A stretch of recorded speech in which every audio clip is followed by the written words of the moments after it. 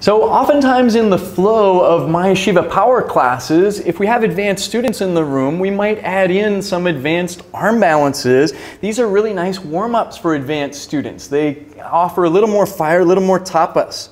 So imagining we're in the middle of the flow and we're about to step back to plank or do chaturanga, and instead we're going to add this arm balance in first. So working the front foot outside, both arms coming inside, just like we're about to do the lizard pose.